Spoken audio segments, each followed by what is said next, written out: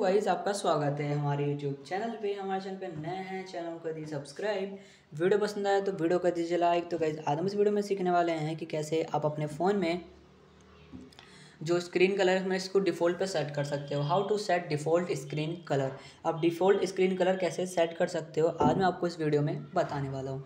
तो वैसे मैंने अपने जो स्क्रीन का कलर वो चेंज कर रखा है। आपको शायद ही दिख रहा हो, यहाँ पे थोड़ा सा मैंने इसको पर्पल कलर का कर रखा है, एकदम हल्का पर्पल कर रखा है। तो कहीं अगर आप इसको डिफ़ॉल्ट पे सेट करना चाहते हो अपने स्क्रीन के कलर को तो आप आसानी से कर सकते हो।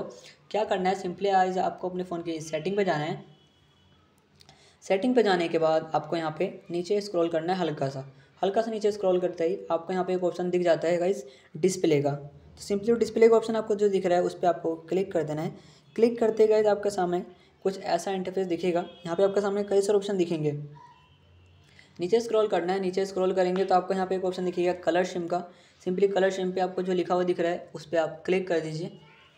क्लिक करते गए, यहाँ से आप नीचे स्क्रॉल करेंगे तो हाँ जैसे देख सकते हैं, मैंने पर्पल कलर कर रखा है यहाँ पे पर्पल सा शो और ऐसे यहाँ पे देख सकते हैं ये कलर कर रखा है। तो सिंपली आपको एक ऑप्शन दिखता है यहाँ पे डिफ़ॉल्ट का। सिंपली जैसे आप इस पर डिफ़ॉल्ट पे क्लिक करेंगे तो आपका जो स्क्रीन कलर है, पहले की तरह नॉर्मल हो जाएगा सिंपल हो जाएगा। तो ऐसे आप डिफ़ॉल्ट कलर को सेट कर सकते हो डिफ़ॉल्ट स्क्रीन कलर को सेट कर सकते हो अपने फ़ोन में, जिससे आपके फ़ोन में जो पहले की तरह कलर थे वो वापस आ जाएँगे। आई होप गाइज़ आपको वीडियो अच्छी लगी हो वीडियो अच्छी लगी हो वीडियो कर दीजिए लाइक चैनल कर दीजिए सब्सक्राइब आपको मिलते हैं ऐसे इंटरेस्टिंग वीडियो के साथ, तब तक के लिए बाय बाय गाइज़